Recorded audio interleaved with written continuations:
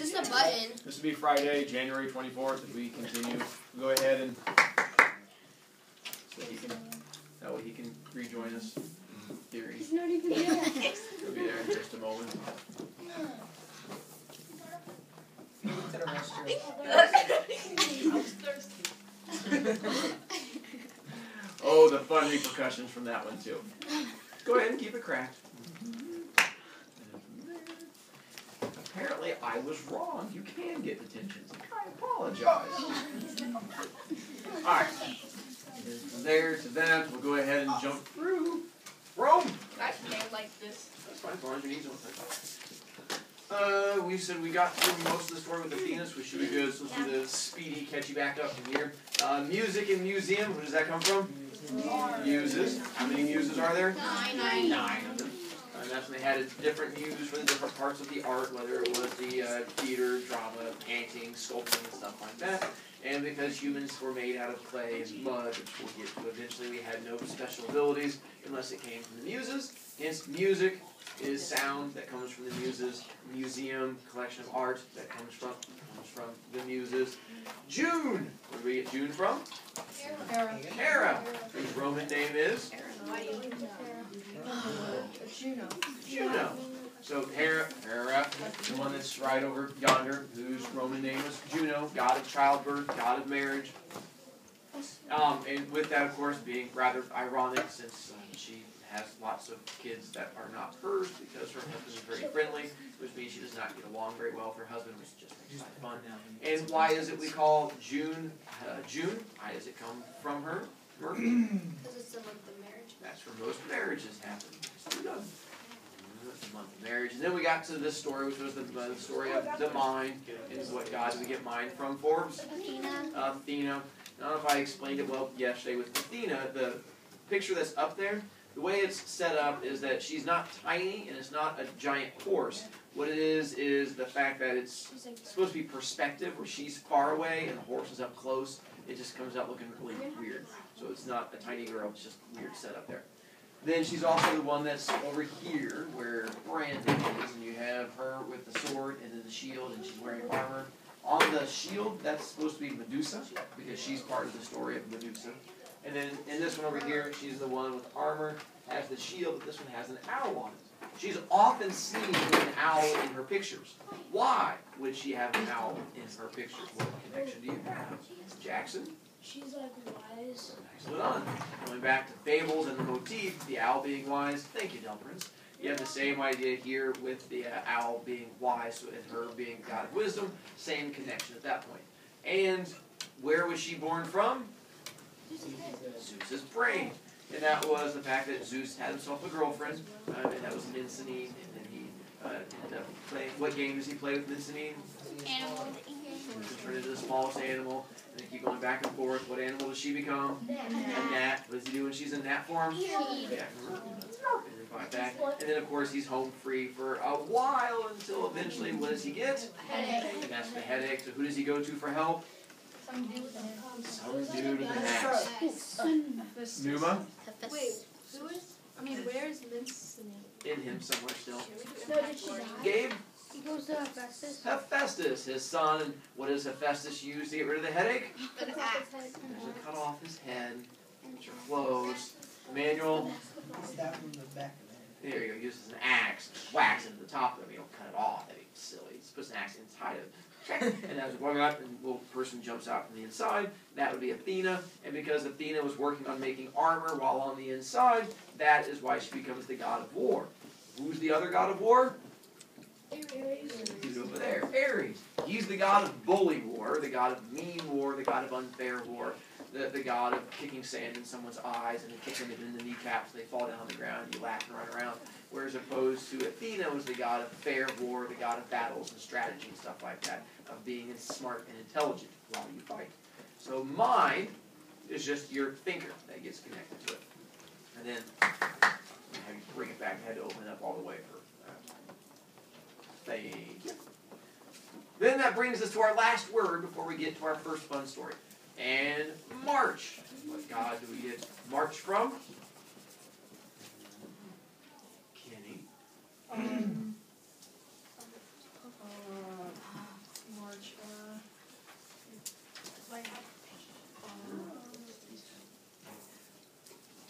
Ares? Nicely done. 'Cause What's his Roman name? Mars. Mars. It comes from Ares, the guy that's right over here, um, who is the god of war, which is why he has a vulture on his shoulder. The vulture on the shoulder is because in a war, the stabby stabby, the dying, and the dead bodies. And how do you get rid of the dead bodies? Little birds come and stuff like that. And then usually after you have all the dead bodies, you have the dogs that show up. You know, it's, they're do the, the gobble gobble eat eat. So usually he'll be shown with like vultures and wild dogs and stuff like that. Since he was the god of war, we have two definitions for March. What are the two definitions of March? Harenkampf. Nice one. One is the time of year that comes up usually uh, before, or sorry, during spring, after winter, before you get to summertime. That time of year was thought to be the time controlled by Mars, controlled by Ares. Not because that's when you have wars, but because that's when the weather's so chaotic. That's when you have the most tornadoes, hurricanes. It'll go from being really cold to really hot to really cold. It seems like it's such chaos. They figured it had to be controlled by Ares. Like obviously this is when the gods were fighting each other all the time, so it was absolute chaos as far as that. And the other definition, Gia, Walking. nicely done. When you're walking off to war. The war walk would be the other definition. Because when you were going off to fight in a battle, you were said to be marching to war. You were doing the walk of Ares or the walk of Mars, and eventually it got shortened just down to marching. So marching was thought to be doing the walk of Mars, because you're going to honor him. That's all the ten words. Now, the rest of the blue sheet is as we go through and do the stories, that's really filled in. Some of the stuff you already know if you've been paying attention to the stories we've hit, as in like the first one on there when it talks about what was the first thing to exist. Well, in Greek mythology, Numa was the first thing to exist? Chaos. So part of the stuff you guys already know. So to give you guys the more detailed background, we'll go back to the beginning of Greek mythology, how the whole thing begins. According to the Greeks, we have chaos. And how can we imagine chaos to make it easier? There you go. Big ball of pudding. It's hard to find a picture of a ball of pudding, so I have a cup of pudding. It's still delicious. So you have the ball of pudding. And it just sat out there doing pudding things forever until eventually it gets bored and splits to form the very first two gods that are out there. And who are the first two gods it splits to form? Gabe. Nicely done. Splits, and when it splits, it's like a giant amoeba. And it splits to form these two beings, Gaia and Uranus.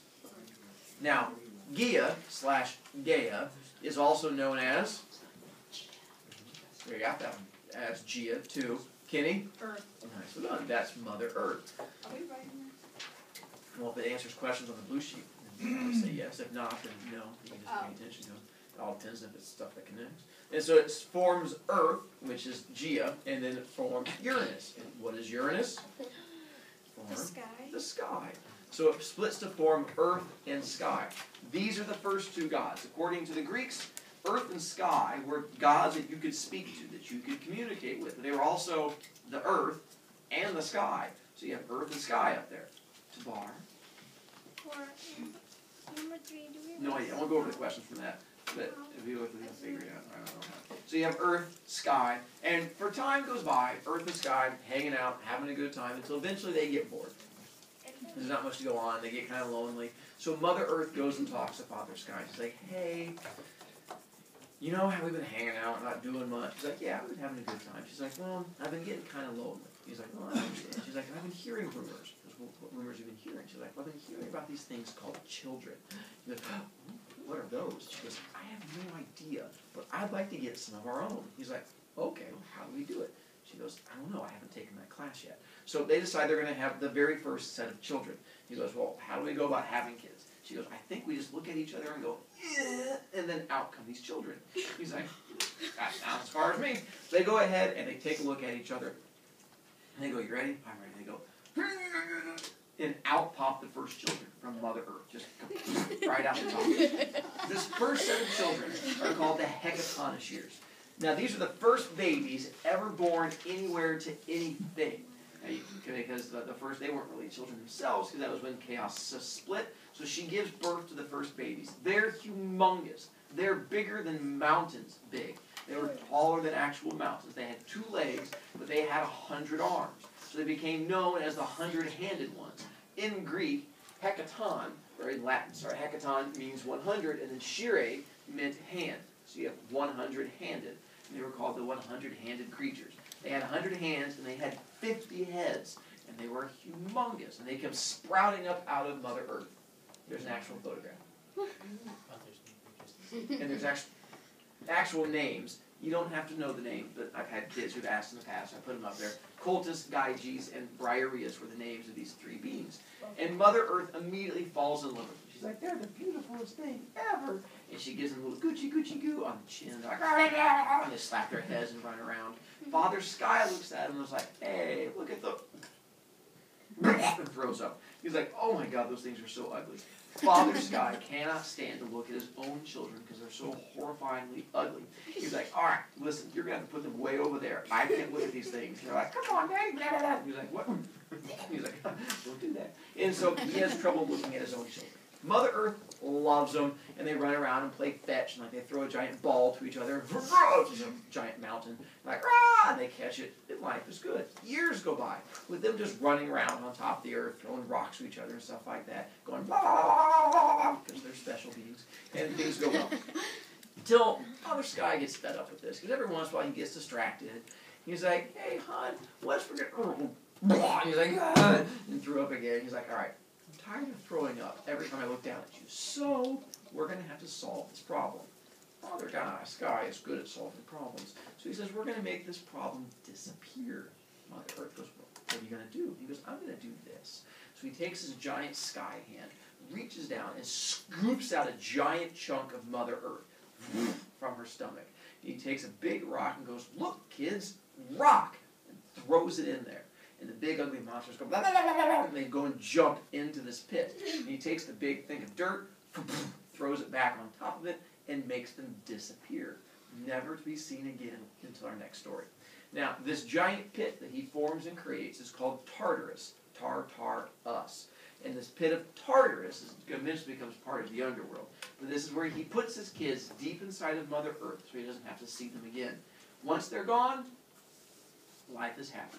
Now it's back to just Father Sky, Mother Earth, and things are going well. Mother Earth is a little sad because she can feel the little babies in there inside of her, but she learns to deal with it. Father Sky's happy because he's not throwing up all the time. He's like, I got really old. So as time goes by, eventually Mother Earth talks to Father Sky again. She's like, hey, you know how I keep calling you Father Sky? He's like, yeah. He's like, no, you call me Mother Earth. He's like, yeah. She's like, well, we can't use those names if we don't have children. He's like, Ugh. I said we weren't going to talk about those. She's like, I know, but you know, that was the first one. That was like a prototype model. Let's try another one and see how things go. She's like, all right, we'll try it again. He's like, how, how do we do it again? She's like, I don't know, I haven't taken the class. I think we just point at each other. He's like, all right, we'll do the pointing thing again. They decide they're going to have a second set of kids. They roll up their sleeves and they go, all right, ready? And out pop the second set of babies. The second set of babies, once again, there's three of them, but this time much smaller. Mother Earth is like, oh, you make quite so big. So they're the ones who are as big as mountains. The second set would come up to the first set's like kneecaps. So they're like a fifth of the size. And when they pop out, they look much better. Two legs, one body, only two arms this time, one head, two ears, mouth, nose, one eyeball right in the middle of their forehead. And the second set of children are called the Cyclops. And the Cyclops are the second children that are born to Mother Earth and Father Sky. Now, with them, of course, Father Sky is a little bit on the nervous side. He has his eyes covered like this when they're born. He's like, they're here. And he's like, okay. Just listening. Yeah. Right. They're weird, but they're not too bad. All right. So he decides we're going to keep these. And they're like, what do you mean keep us? He's like, shh, don't worry about it. And so he's going to go ahead and keep these kids around. Things are going to go all right.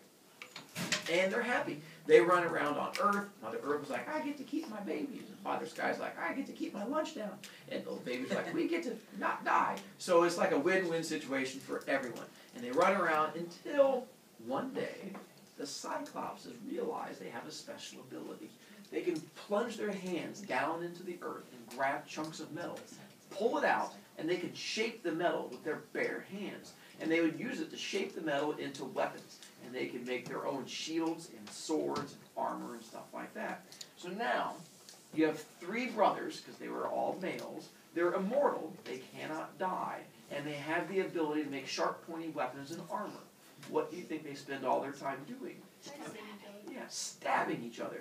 Right, when they get this straight, I can make a sword, go over here to my brother and go and stab him, and all he does is go, ow! awesome! So that's all they end up doing, just running around like stabbing each other and going choppy, choppy, choppy, and having a great time. The problem is they get a little careless sometimes, and they make big old sharp pointy spears. Like, and they would wing it at one of their brothers as hard as they can. And it'd go flying through the air, and the brother would be like, oh, and they'd go flying past him. But then the spear would keep traveling. It would go higher and higher and higher and higher until eventually, what does it hit? Father Sky.